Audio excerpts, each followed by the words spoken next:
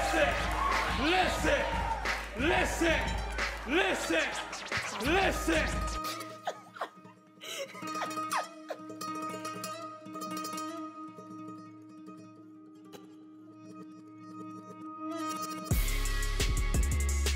Greetings and salutate.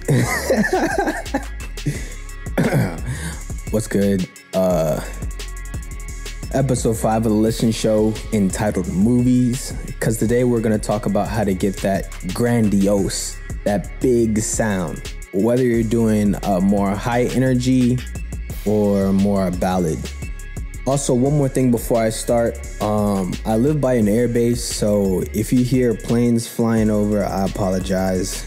Seems like today is plane flying flying day, but so the first step in getting a, a big sound is having a solid foundation.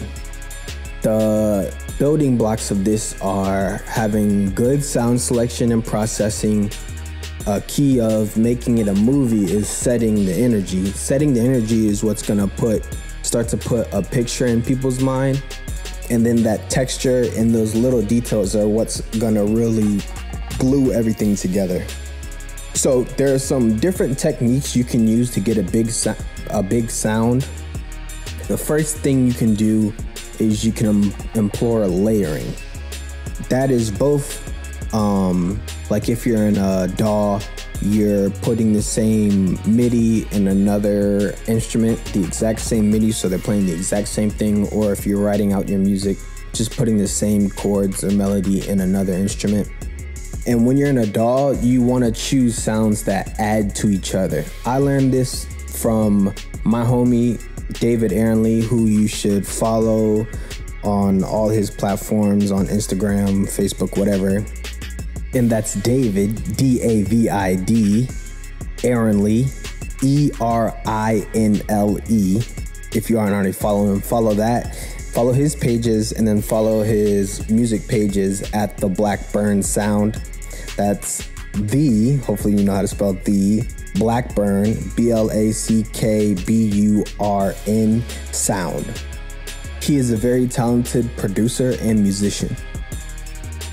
So he was uh, he was giving me some pointers on mixing, and uh, since I like to layer a lot, he was just telling me that you want to choose um, sounds that add to each other. Like if you have two pads. Maybe one pad has is very warm and has the low end has a good a great sounding low end.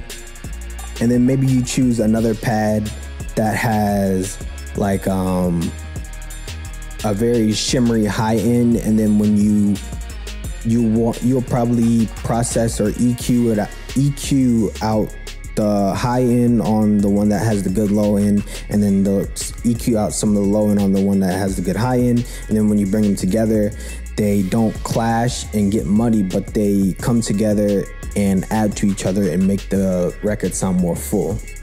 So that's the idea behind choosing sounds that add to each other, as well as just sounds that fit together, like strings and horns, and like any acoustic instruments automatically fit together most of the time when you're doing analog synths, analog synth stuff fits together as long as you process it right. And another um, way to get more out of your layers is to use panning and stereo widening. So panning is where you take a sound and you shift it to like either your left ear or your right ear. I am str- strongly against hard panning. Hard panning is where you completely take your sound and move it either all the way to left or all the way to the right. When you pan, you have a full range of, it's like a full 360 degrees almost. So use the full range. And also, there are stereo wideners. So if you have, like, again, with a pad or something like that, if you have a nice pad and you want it, you don't want it to necessarily be so mid heavy where your drums and maybe your 808 or low end is going to be. So you take a stereo widener and it will literally just widen your um, your your instrument so it won't be so mid so heavy in the middle. A next key is using reverb. So reverb is going to give a little bit of atmosphere. Like you're not just without reverb, everything would sound like like somebody's literally speaking directly into your ear. Reverb can take things and push it farther back in a mix. So when when we are making music, there's three dimensions. You have gain, which is simply where the faders are and how loud an instrument is. You have panning, like I said before, which is uh, left to right, where where an instrument can sit left to right, and then you have forward and back, like how direct is the sound into your ears. So if you wanted to make something sound like it was farther away, you would uh, you would use the dry wet knob on your reverb plugin to to adjust how far away you want or in the back of the mix you want it to sound. And you'll have to forgive me. I'm not really a technical mixy kind of guy. I'm kind of like the I just like to create honestly. Like I just like to make music. I uh I'm only I can only mix as well as I can because the people around me, like my homie David, or my homie Justice, who tells me what to do and how to make my mixes better. So you'll have to excuse the technical jargon and all that kind of stuff. Like I'm not the best with that. So for these next plugins, I'm not really gonna explain what they are, more of just how to use them because I tried to and I was struggling and I'm not gonna give you guys the satisfaction of hearing me struggle with that. But I do know what they do and I do know how to use them. I just I learned it in school, and that was a long time ago. So uh, next is distortion. Distortion, what it's gonna do for you is give your instruments a different character, and you don't. Again, with all of this, you don't slap all of these plugins on every single track. You only use it to taste. Like if you listen to Kanye West 808s and Heartbreaks, he puts distortion on his drums, which is like the taiko drum and um, congas and stuff like that. So distortion it messes it up, but in a good way. It gives it a certain character, like like uh, if you've ever heard any Travis Scott vocals, he puts distortion on his vo- on his vocals from time to time. The next thing that is helpful is the chorus plugin. What a chorus is going to do for you is if you if you've ever heard like the Beach Boys or the Beatles, what they did back then is they would or and they still do it now, but what vocalists do is they record exactly what they just recorded over and over again. And since their recordings won't be perfectly aligned with each other, the imperfections of it in it will give it a certain character. And what I usually do with chorus is I put chorus on my hi-hats because some what a chorus will do is push it farther back in the mix because chorus is a type of delay and and a delay can work as reverb. So it's I'm not gonna go through it, but it it all will make sense. If you want to learn about all that stuff, go ahead. I don't really want this to turn into like a mixing YouTube series, but mixing is important to what we're doing. I would say go research because there are other people who can tell you better. But basically, what a chorus will do is it will add character and it will also push it back in the mix a little bit. Um, and it will make, give it a more lively feeling. I use a chorus on my hi hats from time to time because I don't want them necessarily up front and in your face. I do want them lively and I and I want them more heard and not felt.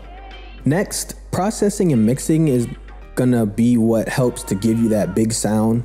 As a producer, you really don't have to be on a professional level with mixing, but you should know at least a little bit about mixing and mastering so you can know exactly what you want. And when other people mix a song for you or you have to send stems or something like that, your stems should already be like solid. And then a professional mixer is just gonna polish everything and put it together even more, glue it together even more, and it's really gonna shine. Uh, I can take you through one of my mixes, and maybe I'll have my friends, because my friends, like I said, I'm not the technical guy. I can have some of my friends go through the mix as well and tell you some of the things that I do wrong and the ways they would improve on it.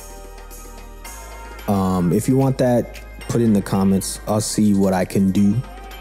I say, lastly, you will really know when your track has a big sound.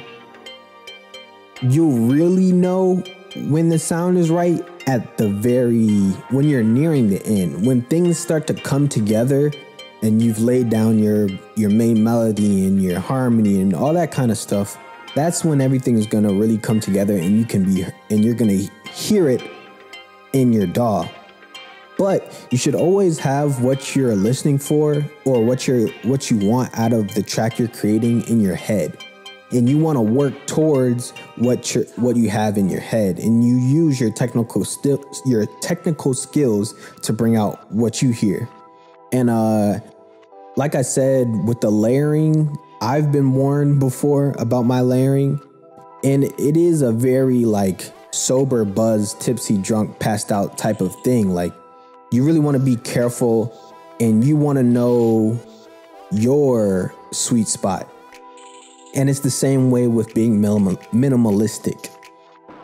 Like I said, the key is knowing what you're what you're looking for, what you hear, and knowing your sweet spot. That's the end. As always, in the comments, let me know what you think. Let me know if you want me to go through a mix. Um, also, as always, listening list in the description. And thank you for listening.